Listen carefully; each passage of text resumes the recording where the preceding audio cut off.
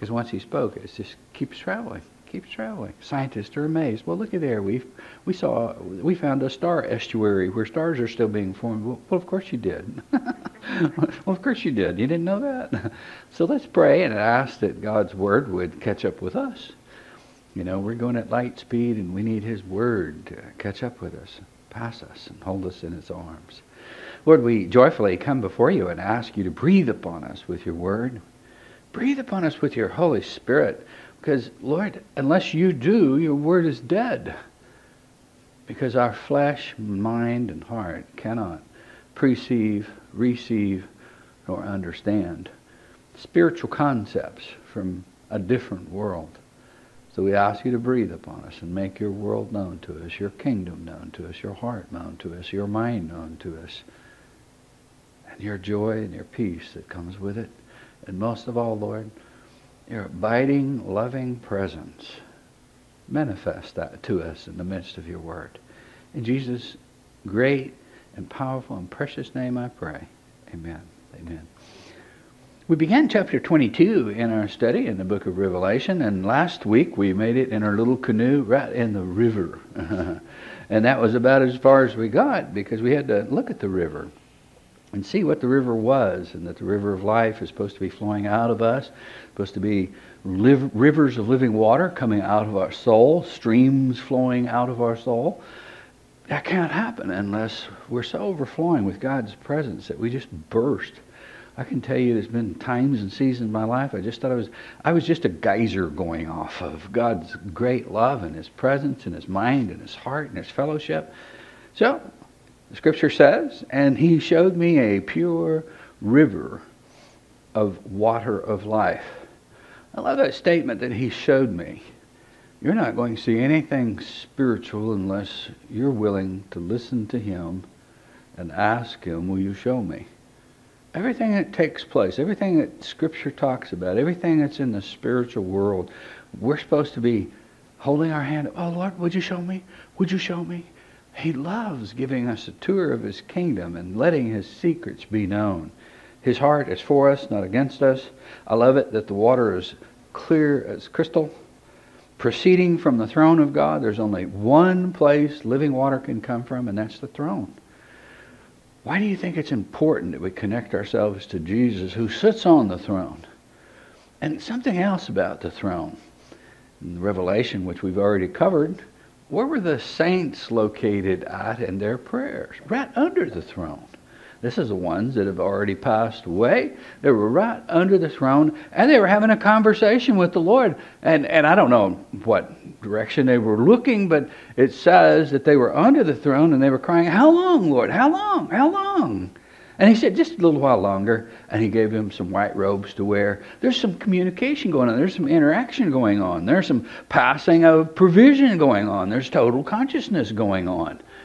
And that's with the dead. Jesus took over the place of the dead and put even greater chasms in it and carried that part of the place of the dead right under his throne that belongs to him. The prophets are there, Elijah's there, Ezekiel's there, and oh my goodness, the bowls of the saints and all their prayers sit right before this throne. And there's rivers of living water flowing out of it. We've already seen the earth destroyed and the heavens destroyed, and we're talking about a new earth, a new heaven. God making everything absolutely new. It's not just a remodel or a remake. I was reading in one of the passages in the Old Testament and says, and God will show up and he will melt the earth with his breath. Well, yeah, they got it right.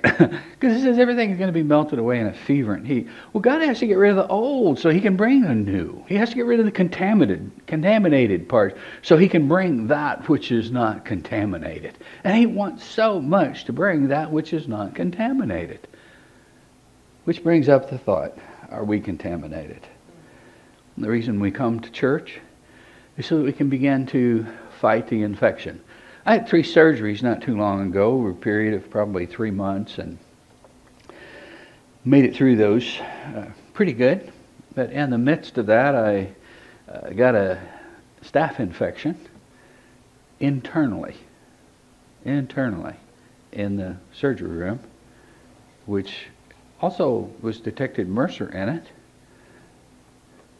And that infection took my whole system down to where I wanted to sleep and I couldn't move and I couldn't think.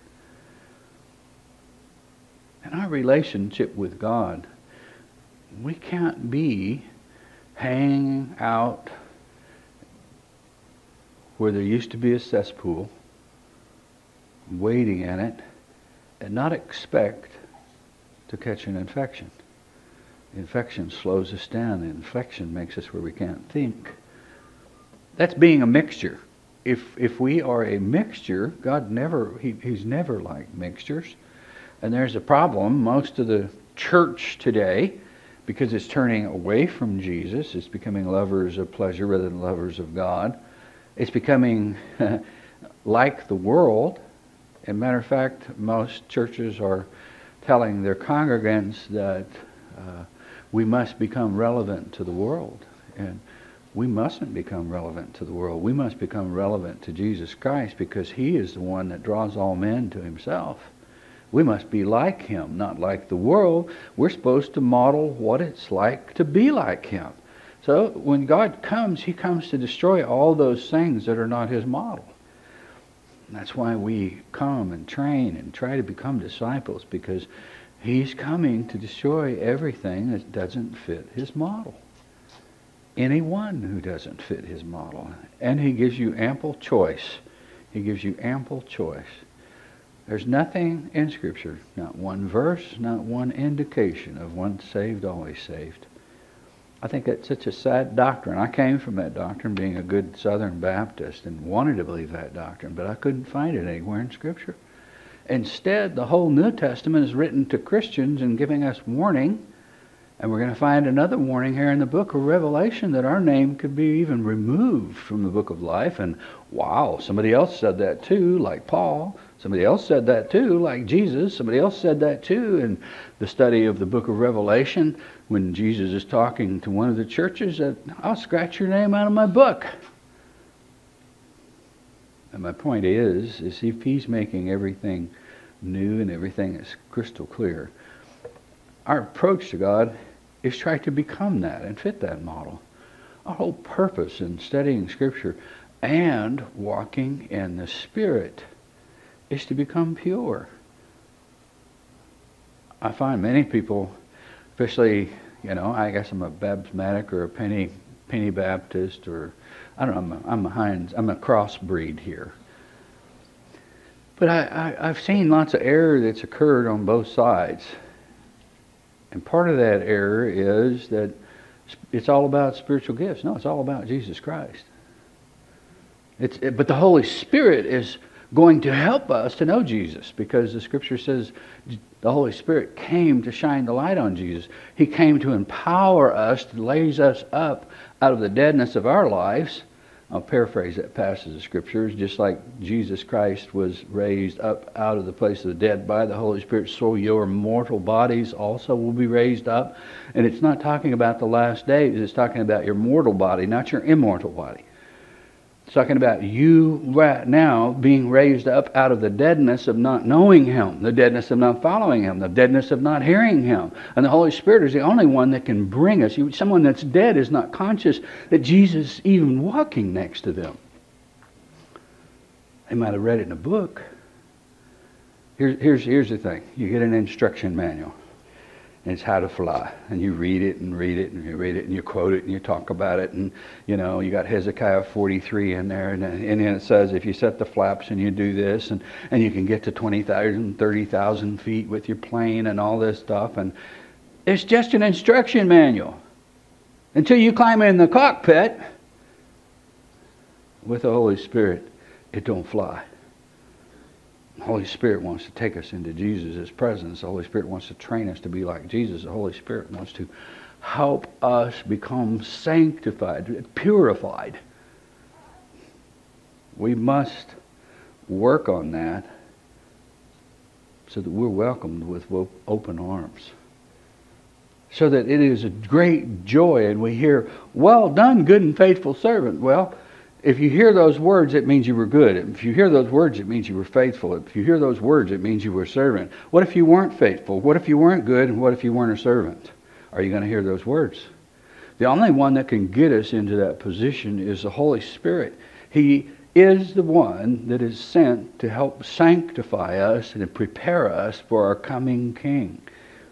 He is the one that's going to train us He's like the groomsman that comes and, and trains us of how to dress and how to be arrayed and how to be purified. You, you know, the groomsman was the best friend of the groom. He would go to the bride nearly a year in advance, and he, he would be sent with gifts from the bridegroom, a list of all the special recipes, and show her the special recipes, and, and, and all these bathing oils. Now, your husband wants you to bathe in this oil six times a day until your skin smells like this.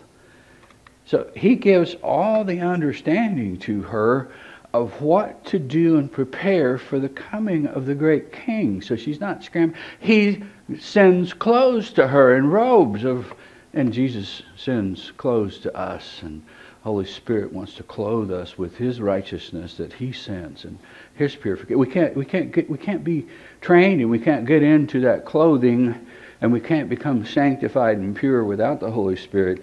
And the whole thing about this new heaven and new earth is completely, totally new, with the exception of you and me, and Jesus and God, and those who belong to Him that are in the place of the dead. It's a completely new thing. That I, I don't think there's English words or any words there's no human words to be able to describe all the beauty of this place. Can you imagine exploring? And right now, we're with our telescopes, we're looking way out there, way out there. And they tell us, okay, this picture is uh, 20,000 years in the past. Uh, this is what it looks like. We're looking at 20,000 years in the past. Well, how would you like to catch the elevator up to the throne room and then catch the escalator over to the next uh, Alpha Centauri, you know? And it gets you there that quick. We're struggling in slow motion with little rockets trying to make the Mars mission or something. And God wants us to be explorers of His great universe. He wants us to watch Him as when the Spirit was there, the Spirit of wisdom, he said, I was there when he stretched out his hand and drew a line in the sand and told the ocean not to come any further. I was there when he pushed up the mountain. I was there when he. Can you imagine being there and watching God make all these new things? It's a newness and it's a fresh start. And so, shouldn't we be excited about getting dressed and arrayed? Shouldn't we be excited about being prepared for that? Shouldn't that be our aim in this life instead of the senseless aims that we have and what futility that futility, or was I right the first time? so we have the water proceeding out of the throne of God and of the Lamb. I find that interesting at the throne of the Lamb, throne of the Father. The water is proceeding from both of those areas. Why do you think Jesus was always telling people, pray to your Father, our Father which art in heaven? He wants us also to commune with the Father. Matter of fact, Philip asked Jesus, he said, uh, well, I, um, he, he got, Jesus was talking about having seen the Father and he would show him to him. And Philip said, well, show us the Father. And Jesus made the statement, Philip, have I been with you so long? That you haven't seen? He, he was saying that he was the Father, and that if we look steady on into Jesus, we're going to see the heart of the Father. Why? Because he's also transparent. In the middle of the streets, on either side of the river, was a tree of life, which bore twelve fruits, each tree yielding its fruit every month. I find it interesting that the whole Bible starts off, the first two chapters, it's got the tree in it. And then it disappears. And we don't see it reappear until the last two chapters of the Bible. It reappears. The tree of life. There's some comments, there's some visions, there's some dreams about it. But it was there. It was there in the garden that God had personally planted himself. And what would that look like if God personally planted himself something? I find it interesting that he is an architect, he's an engineer, he's a craftsman, and he can speak and create something, but he did something different when he made the garden. It says he planted it. He didn't just speak it. He was speaking it and doing something else with it. And he did something else different when he formed man. He personally formed and fashioned. He just didn't speak a word. Everything else, he just spoke a word. So there's some very special things about mankind and very special things about the garden and the tree. In Genesis, it's saying that there was all these trees in the garden and they were for the healing of the nations. And then it stops there in its verbiage in the Hebrew. And then it, then it says, Now in the midst of it was the tree of life and the tree of good and evil. It didn't talk about those two being made. And, and the others came up out of the ground, and these two, it has nothing mentioned about them coming up out of the ground. Isn't that something? And now, here in the book of Revelation, you know, in the book of Genesis, we saw the tree of good and evil. Here in this picture, tree of good and evil no longer exists. God has burned it up. And when he recreates, everything new. There's only one tree, and it's the tree of life. Only one tree. And it alone has the leaves that heals the nation. So there's been a great modification to the order of the universe the what would maintain it because the, all the trees collectively in the garden would give off their fruit in all the different seasons. Now they're not giving off their fruit. Instead there's one tree giving off the fruit in all of its seasons and there's one tree providing leaves and there's one tree providing healing. I love it that jesus says he is the tree. He said i'm the tree. Yeah. i'm the manna. I'm the way I mean, Jesus has 237 titles and probably more. You could probably fill me in on a couple more.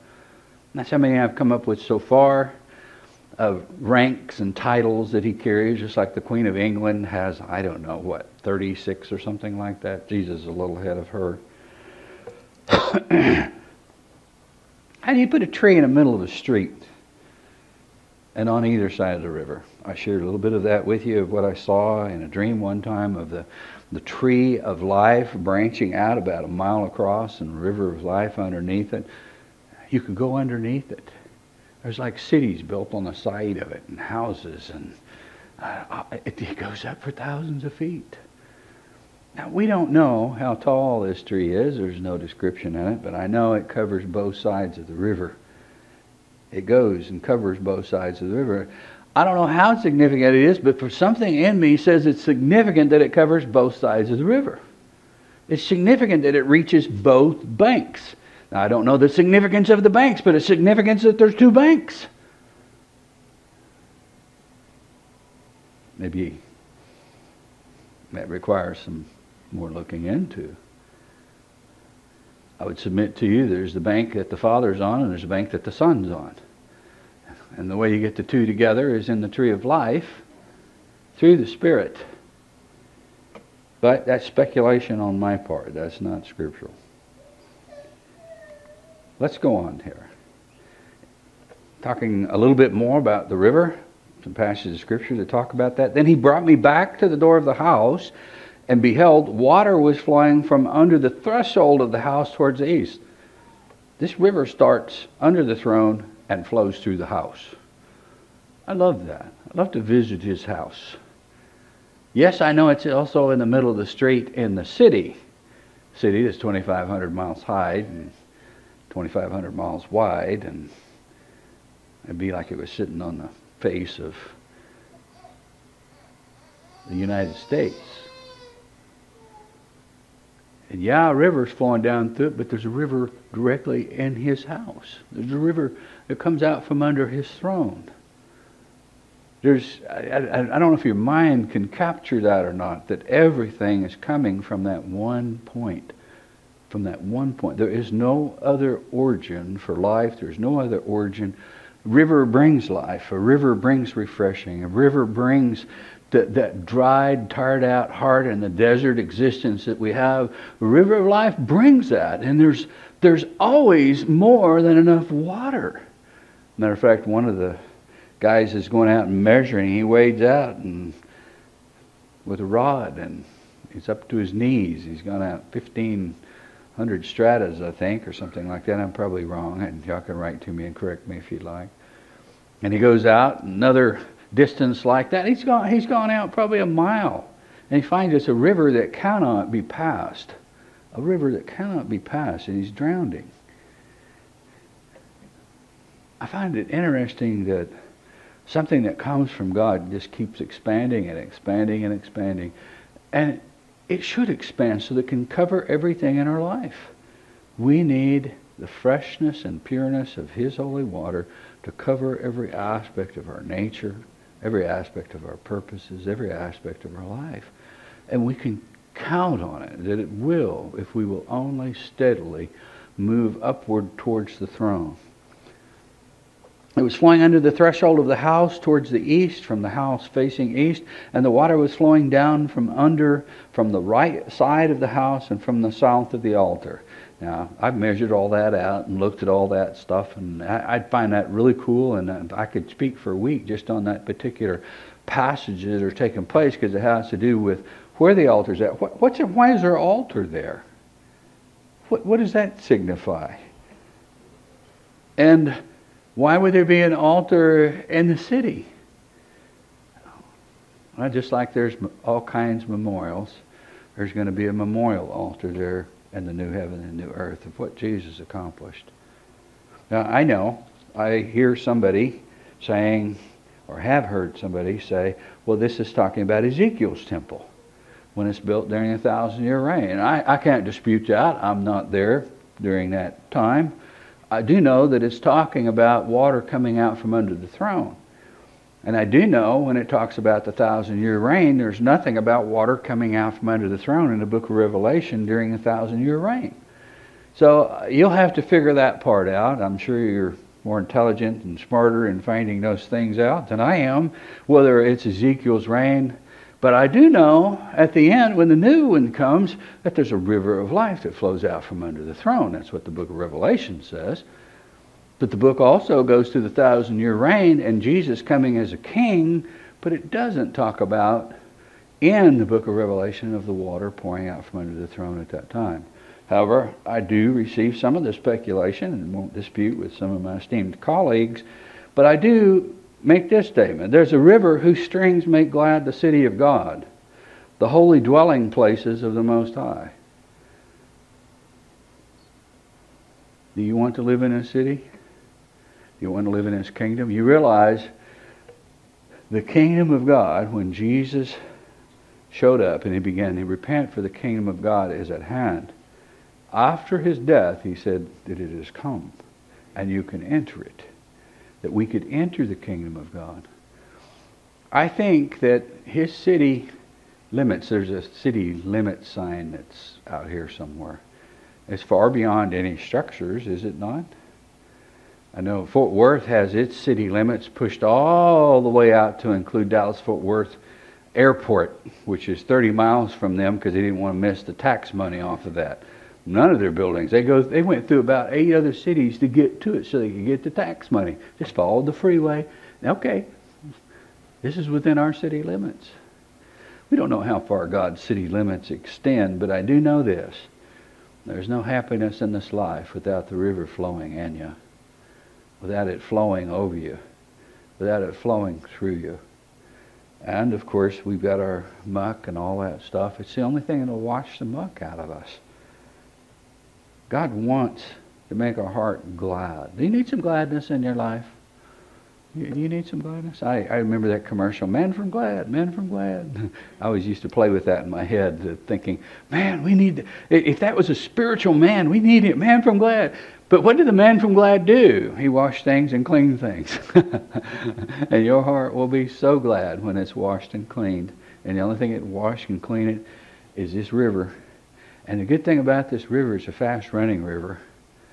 See, we have a tendency to leak out toxic poisons, and so this river is moving so fast, it can carry them on downstream, away from us, so that we can still get, while we're changing, while we're metaphorically being changed by the Spirit and by the Word of God, and factually being changed and transformed. I know many of you really personally, really deeply, and there's been such great changes that have occurred within you since you started since you first tasted the first little taste of the spring. You get just a taste of the spring and it makes you thirsty for the real thing in this life. God wants to present that to you, but He also wants to remind you the more this river you drink, the gladder your soul and your life will become here in this life. Scripture makes the statement, it gives us a command rejoice in everything. Rejoice in all things. How many? all things. And if we, we, you can't rejoice unless your heart's glad. If your heart's glad, no matter what the sorrow that comes, if the heart's glad, there can be rejoicing. That can only happen if you continually drink from the living presence of Jesus Christ, of the water flowing out from under the throne. And He offers that daily. He offers that liberally to us for transformation. I showed you this picture in our last session. I love it because it's got the it's got this whole universe down here. the whole thing is flooded with his water, in my opinion. Why? Because there is no life. This is a river of life. And all life that God's going to create can come out of that river of life. And there's some passages of Scripture that kind of bear out that. And in that day, living waters will flow out of Jerusalem, half of them toward the eastern sea, and the other half towards the western sea, and will be summer as well as winter. Now, some have said, well, this is during a thousand year reign, but there again, I take you back to the book of Revelation. During a thousand year reign, it does not talk about there being a river of life flowing out from under the throne. However, there is much, much verbiage about it being uh, talked about in, in the new heaven and new earth.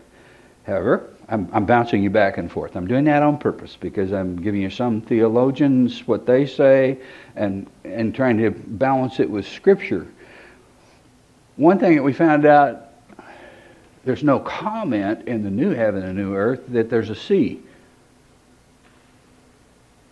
It's a, it's a landmass, one landmass without a sea, but it's got a river. Where's the river flowing to? What's it going to make? Those waters have to be captured, and these waters bring life. There's one passage that talks about it even clearing out the swamps, even cleaning up everything. But there again, what is there to clear up if it's a new heaven and a new earth? See, I'm, I'm letting you toy with this from both sides of the playing field as to whether it is or isn't. What we do know is it flows out. Let's go on here.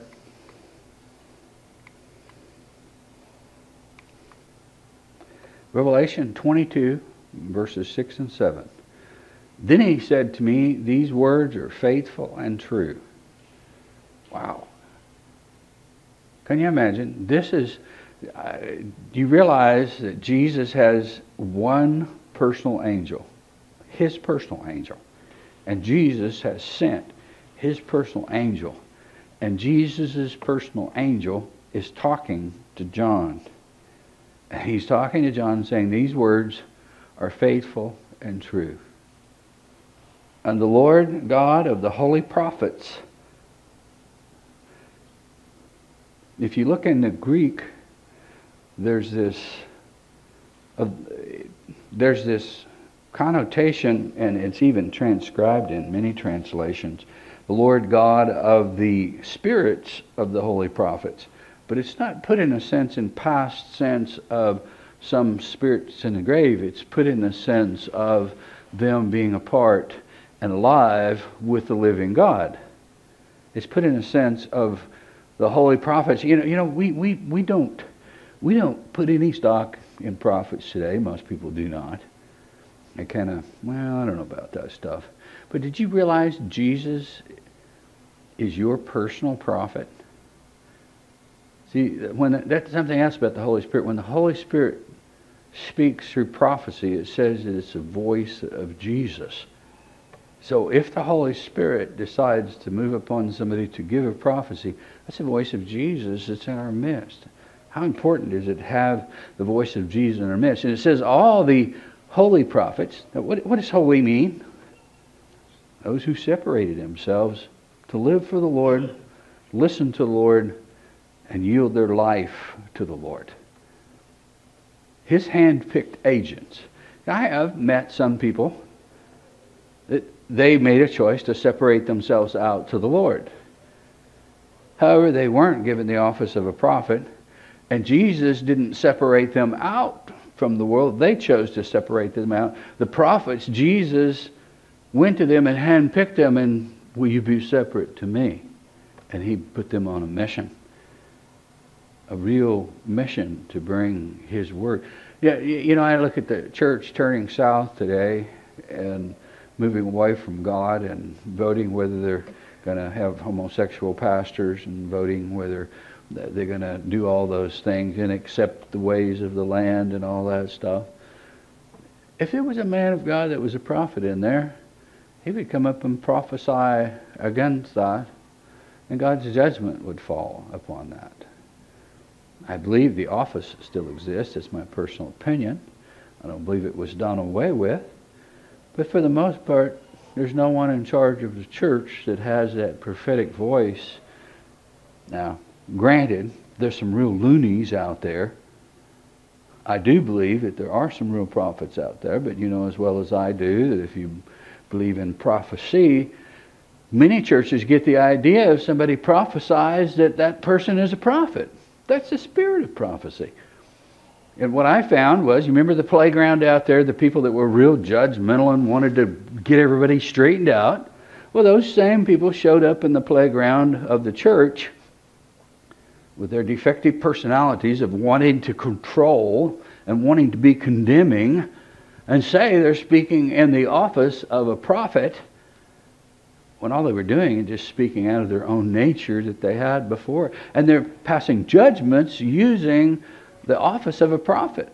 the reason I say that, because the spirit, the spirit of prophecy is for what? For edification and building up the church. That spirit, if the spirit of prophecy moves it, it's going to edify and build up the church. That's Jesus speaking to us, giving us words of encouragement, words of direction. The office of a prophet God's hand selected man came to bring judgment, first of all, to the priesthood, second of all, to the house of God, and third, to the kings, and fourth, to the people.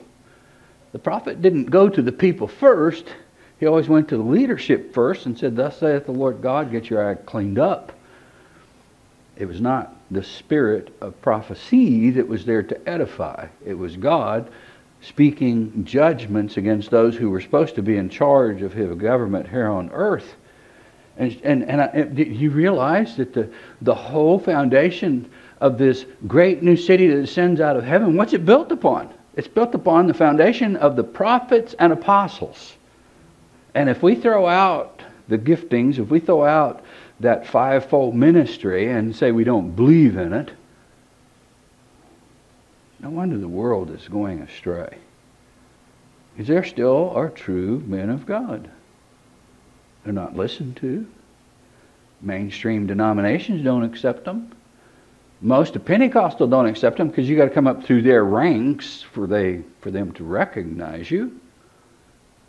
Most of the charismatics don't recognize them, but yet they got all this Elijah list and all the bunch of funny stuff. And then there's the Kundalini spirit that's entered the church which is a substitute mocking of the Holy Spirit, of people going in all kinds of convulsions, barking dogs and lions and all that stuff. That's not prof. That's not prophets, but we're talking we're talking holy prophets, and we're in the book of Revelation, and it's talking in the Lord God of the holy prophets sent. Most translations leave out the Spirit. Instead, it says the holy prophets and it implies that they're still holy prophet. It implies that they're still holy prophet. It implies they're still holy prophets. Do you, you get that? And the Lord God of the holy prophets sent his angels. Do, do you catch that? The office exists. It is one that is greatly abused and probably has the greatest list of imposters No, there's a greater list of imposters, and that's teachers. And Scripture says there's not many teachers this day.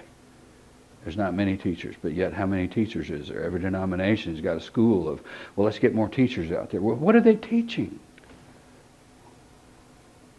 A teacher, the definition of a teacher, I've given this to you on a personal level. I don't know if I've given it from the pulpit or not.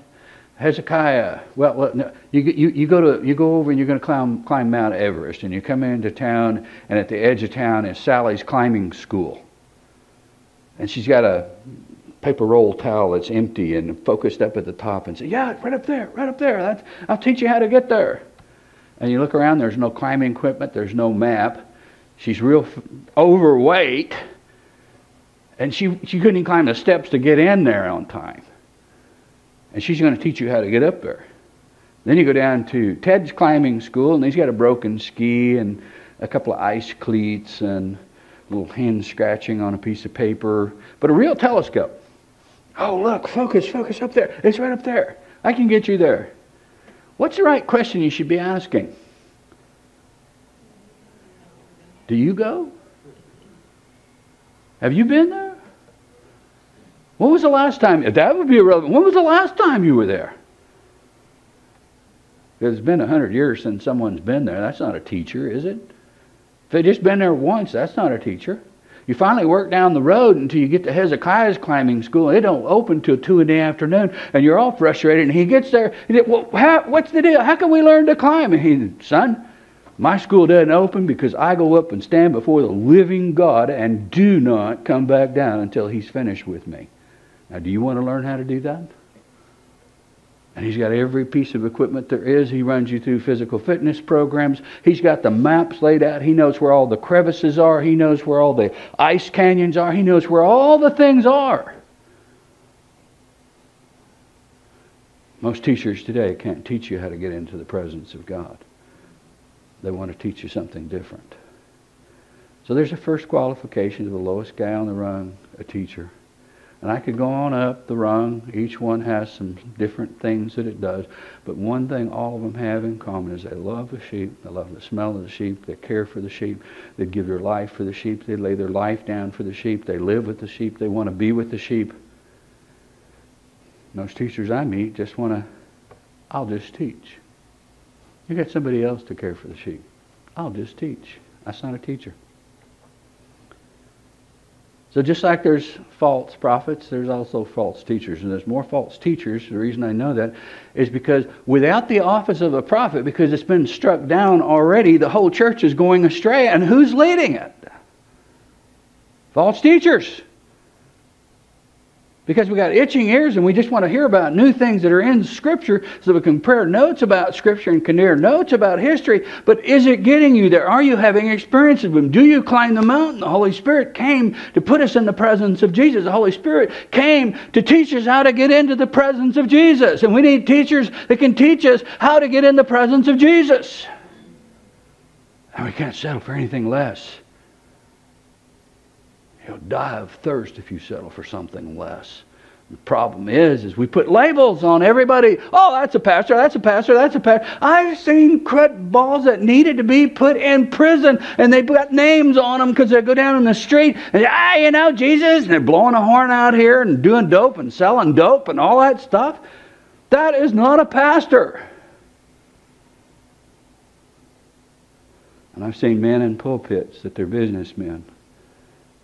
They can't teach you how to get in God's presence because they don't get there, but they sure know how to run a business.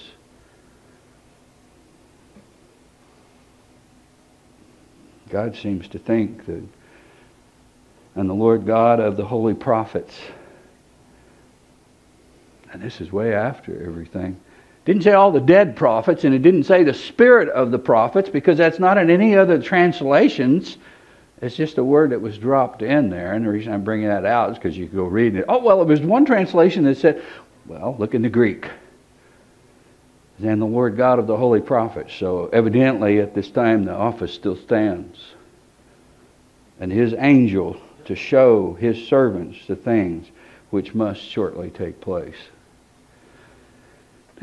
The problem with me telling you that that, exo- that office exists, you're probably going to get visited within the next few days of somebody giving you a card saying Holy Prophet. Throw the card in the trash. God's prophets don't go announce themselves. They have quiet and gentleness and meekness and truth. And this should be Mr. Incognito and never self exalted. The scripture says, wherever selfish ambition is, every evil abounds. And something I saw happen in a charismatic church. Everybody wanted a gift. Everybody wanted to be on top. Who gave the best prophecy? Who did this best? Who's going to do that? Who's got the best teaching? And it was just selfish ambition that invaded, that run the Holy Spirit out of the midst because the Holy Spirit's supposed to move on who He wants. He's going to pick this person over there and that person over there, that person over there. And instead, everybody is, what's your gift? Oh, we got to find out what our gift is. I tell you what my gift is. You know what it is? Jesus. Everything else, all of it belongs to Him. All the gifts, everything belongs to Him. And He's the one. Holy Spirit comes and distributes as He sees fit for bringing glory to Jesus Christ, that no man should receive glory if the 24 elders in heaven are throwing their crowns on the ground and falling on their faces when they are in charge of all the works of God, if we get used as a little instrument and the Holy Spirit won't even give us His name, we know Jesus' name, we know God the Father's name, but the Holy Spirit won't even give it His name. If we're going to move in the Holy Spirit, how much more should we be insignificant and Mr. Incognito if He is? But yet, the gifts of the Spirit are real. The manifestations are needed. They're purposeful. They're commanded. Not advised that, well, you might do this. They were commanded to go to Jerusalem and wait that they would receive power from on high.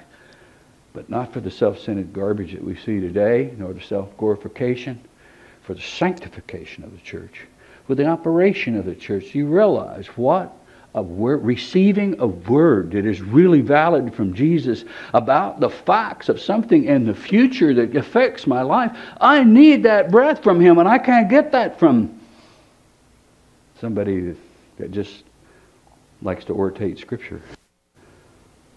Matter of fact, it says in Scripture that a mind of a man not filled with the Spirit can't understand Scripture. It says he can be filled with the Spirit of Jesus and it talks about us being filled with the Holy Spirit. And the reason I'm going into this is because if we're talking about holy prophets, we also need to talk about who, what kind of hat do they wear? What do they look like? For God has done, he's, he's validating them one last time and still making the statement in the very closing scenes that, that they're there. If they're there then, you think they're here now. And I've seen so much error, it almost embarrasses me to talk about it. But how can I not talk about it when it's supposed to be the lifeline? Do you realize, I've made a statement before, got to make it again. In Europe, for a thousand years, the Bible was used to kill about 50 million people. Maybe as much as 100 million people. The Bible was used.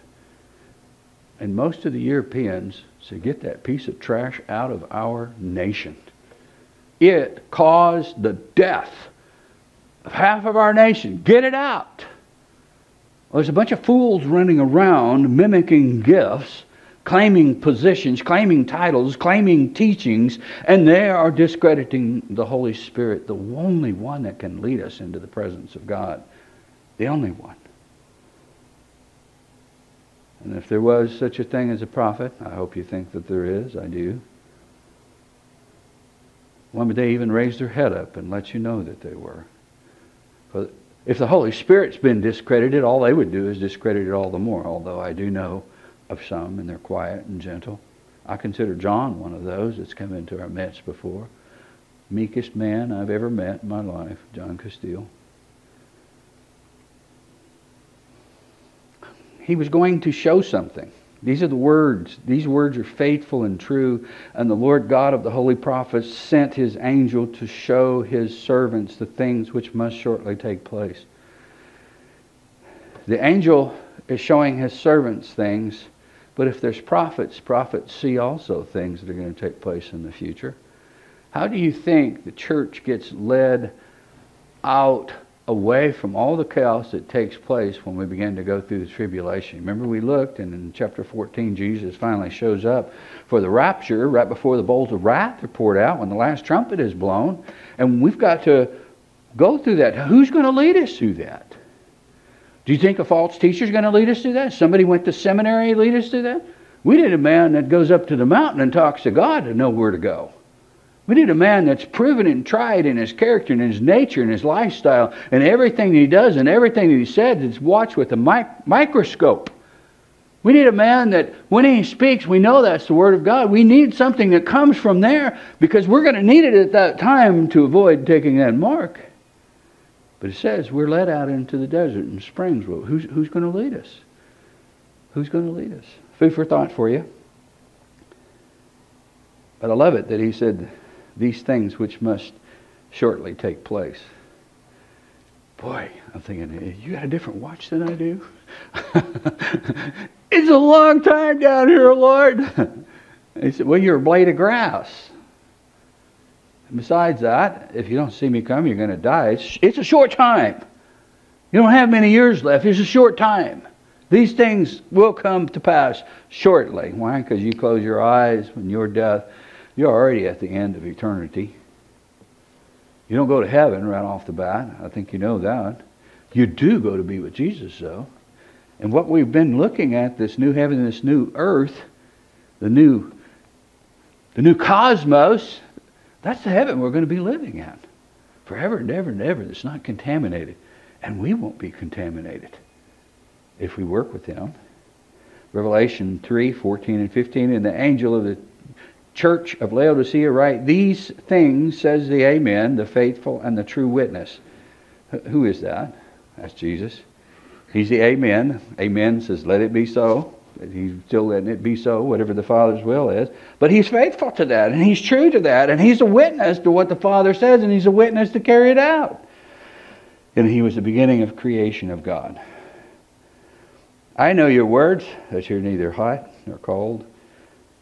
And I could wish you were cold or hot. I find that one of the biggest tragedies within the body of Christ is that we, we grow cold. We grow cold. My daughter called me and she went down for a vacation and she's on the Oregon coast. And she called me last night. It's freezing down here. I thought it'd be like the Gulf. I thought I'd be walking on the beach and the sun would be baking me. And I said, No, honey, it's the Oregon coast. It's uh, said, well, when will it warm up? I said, what's the temperature? 70. I said, well, it's there. That's it. well, I'm freezing to death. And I said, well, you know, what are you doing? She said, well, I'm walking in the water barefoot. And I said, what, you know, once you go into one of those used shops like the Goodwill and find you some of those diver socks and put them on your feet. Said, yeah. And she's in a tent. And I said, well, why don't you go down to one of those thrift stores and buy you a heater right now? It's uh, summertime and you probably get one for four bucks. And, well, yeah, why did I think of that? And, then, and I said, oh, yeah, while you're there, why don't you look for a down, coveter, a down feather comforter? Yeah!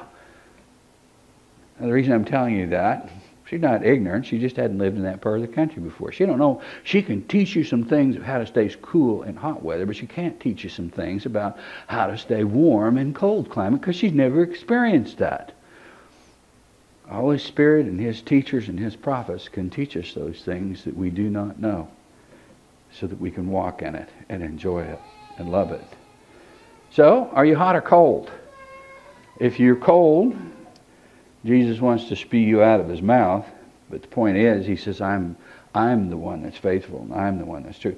And I love him making that statement because I know my own nature, and I know my own character, and I can tell you, many say, Oh, you're such a faithful person. And I look at him and I No, I'm not. No, I'm not. There's no one faithful but him. No one. No one. There's no one good but Him. There's no good thing but Him. There's nothing but Him. Everything else is just like we are. We are stuck in this human body, but He wanted us stuck in this human body to be his representative. Wanted us stuck in this human body so that we could grow in him in his faithfulness by the power of the Spirit that's resurrecting that mortal body from death of the recognition of Jesus as Lord in our lives. And the Holy Spirit wants to raise us into that position of life. And he wants to enable us to become faithful. He wants to enable us to have truth in our hearts. And He wants to enable us to be truthful with each other and care for one another and love for one another. He's the only one that can do that. Some areas, with His help, I have made many strides. But as I walk along in my life, sometimes I see a pit that I haven't made strides and I've just learned to walk around it. I look forward to the day that I can walk across the top of that and not fall in. Jesus is the only one that can keep us from doing that. Revelation 19:11 I saw heaven opened and behold a white horse and he that sat upon him was called faithful and true. There again Jesus is the only one that's faithful and true in this deal. You are not, I am not. In verse 7, chapter 22, behold I'm coming quickly, blessed is he who keeps the words of the prophecy of this book. Do you realize when we started this book, in chapter 1, verse 3, it said that there's a blessing for whoever reads this. Now it says there's a blessing for whoever, whoever keeps the words of the prophecy of this book. Now it's also done something else. It's automatically set this book aside that every word in it is prophecy from Jesus. It's the only book of the Bible that was handwritten by Jesus. It was taken in dictation. His letter of love to us and his directives to us. The rest of them, he moved on men. Here, he's speaking directly to us, not in metaphors. He said, Behold, I'm coming quickly. Blessed is he who keeps the words of the prophecies of this book. Are you a keeper of the words of the prophecies of this book? Because it's filled. I count 2,236 projections of being connected to Old Testament reference prophecies that are brought back to life in the midst of this that brings them into role with this. And I find, am I, am I a keeper of these things? Am I a keeper of these things? Well, I found one the other day I thought, whoa, I didn't know I wasn't doing that. it shook me. I thought, oh my goodness. Revelation 22 and 8. Now, I, John, saw and heard these things. He's testifying right now. I physically saw these things. I physically heard these things because I, you know, I've heard some theologians say, ah, he was just kind of dreaming and floating around in space in his head, and and he kind of woke up and yawned and he ate the wrong thing. He makes a statement. I saw these things. They were physical. They were real. And when I heard and saw, I fell down and worshiped at the feet of the angel who showed me these things. That's how real it was. He, he, he fell down physically in front of the angel. We're not in the spiritual realm, we're in the physical realm right now. And which did you realize that right now, that side of God, the heavens where He's at and Jesus is at and all that stuff, it appears spiritual to us, right? When the new heaven and new earth is made, it's no longer spiritual, it's physical. Everything in it's physical. There's nothing in it spiritual. It's physical that we walk in, we live in, we move in, everything in it, we're connected in it. It's physical. And all of this stuff passes away. And he said to me, Do not seal up the words of this prophecy of this book, for the time is at hand. Do not seal up the words. I, I don't know how many denominations have ruled this book out as plausible. Martin Luther said it stunk. It had no meaning. It was rhetorical. It had no prophetic value. It had no value from God. It had no value from the Holy Spirit. It, and, and, I, and I'm thinking, well, wait a minute. What has been proven in third world countries, when they get a new convert, you know what the first book they take them to is? This book. It brings the reality of Jesus. It brings them to their feet. It brings them to their knees. It brings the reality of God. They fall on their face. They worship God. And when they read one of the other books, it's just a little instructional book. This book is the inspirational revelation of, of, oh, Jesus, this is how you react. This is who you are. We expect you to come. We expect you to heal. We expect you to do something. And Father, you sit on the throne. For the most part in the church, it's the last one that anybody wants to hear because it brings a grave responsibility that we have a duty to our living God to live for Him, desire Him, thirst for Him, love Him, and become His children and be busy about His business instead of ours. In our next session, we're going to take up verse 11, which has some serious connotations in it. I hope you join us for that because it's got some weird stuff in it. Let him who does wrong still do wrong. Ah, why would God say that? Prepare your hearts for action and your minds for action in the visitation of the Spirit. Dedicate yourself to putting this book in your heart because it is pure prophecy. And what is prophecy? The voice of Jesus. And it will, it will reckon within you the voice of the living God so that you, you will be absolutely comfortable with everything that's said in it, but it will bring to life the rest of it. Because without the revelation of Jesus, without the revelation through the Holy Spirit, everything else is quiet. It's just words. We need it given to us. The gospel is revelation from God. Remember, chapter, I think it was 19, maybe 18 we had the gospel being preached for the last time. No, it was 13. And an angel came to preach the gospel. Preach the revelation. Jesus is real. Jesus is God. Bow down, worship him. Do not take the mark of the beast. The gospel is revelational, it's factual, and it's to the point of how we're supposed to be relevant to God. It gives the world a command be relevant to me instead of the church today, which says we must be relevant to the world. If we choose to be relevant to the world instead of God, we have chosen the wrong path. We must be relevant to God in order to get the world to come to Him, not vice versa. Shall we worship the Lord?